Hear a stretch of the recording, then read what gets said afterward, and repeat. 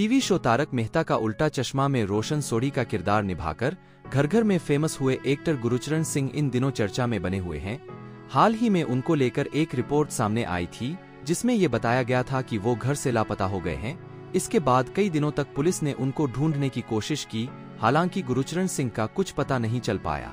इस बीच तारक मेहता का उल्टा चश्मा फेम गुरुचरण सिंह को लेकर एक खबर सामने आई है, जिसे जानने के बाद उनके फैंस की खुशी सातवें आसमान पर पहुँच गई है। टीवी न्यूज़ में इन दिनों छाए हुए गुरुचरण सिंह लगभग 25 दिनों से गायब थे, जिसके वजह से उनकी फैमिली और फैंस काफ़ी परेशान हो गए थे। लेकिन अब गुरुचरण सिंह को लेकर एक अच्छी खबर सामने आई है।